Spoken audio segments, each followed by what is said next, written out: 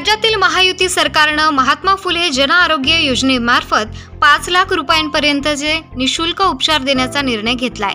यामुळे आतापर्यंत एकतीस ऑगस्ट दोन हजार चोवीसपर्यंत राज्यात दहा लाख त्र्याहत्तर हजार रुग्णांनी याचा लाभ घेतलेला आहे. यामुळे सामान्य गोरगरीब जनतेला मोफत उपचार आता घेण्याची सुविधा मिळत आहे.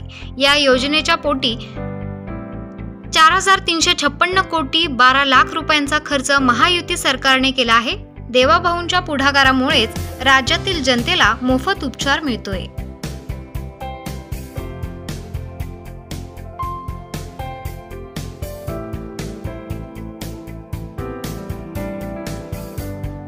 ताज्या व महत्त्वाच्या बातम्या बघण्यासाठी प्ले स्टोअरवर जा.